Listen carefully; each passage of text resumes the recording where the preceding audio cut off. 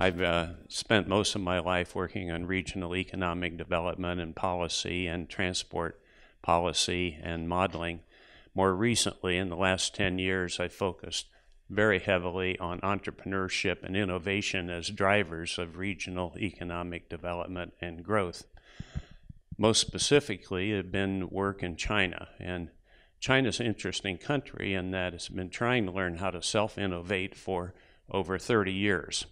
Uh, many billions of dollars have been spent on trying to learn how to do this, and only in the last uh, three or four years has China begun to indicate they're capable of doing self innovation. Most of the work beforehand had been imitative in innovation.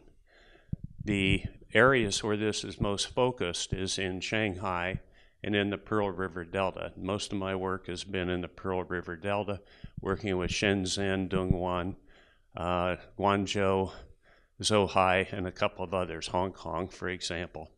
And I will continue to work on this for another four or five years from the looks of it because I have continuing obligations there for uh, my research in those areas.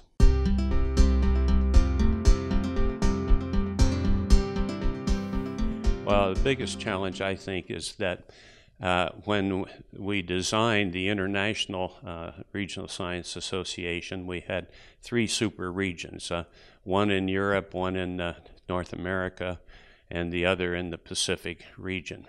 We now have sections growing up in many parts of the world that were not active at that time. So we have to think about how to redesign our global organization so we have places for a number of countries, like in the Middle East, for example, and Africa, and so on, to fit into our organization.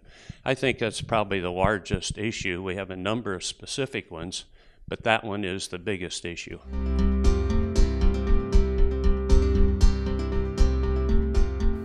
Well, basically, the areas of regional economic development and policy, transport, and then innovation entrepreneurship.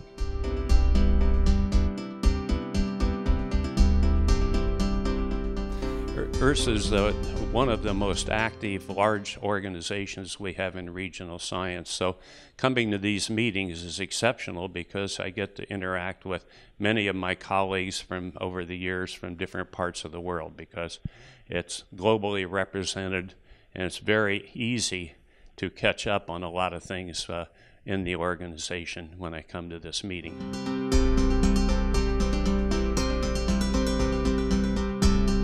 Came to the ERSA conference to meet my colleagues and to discuss many things with them, uh, largely because so many of them come to this conference.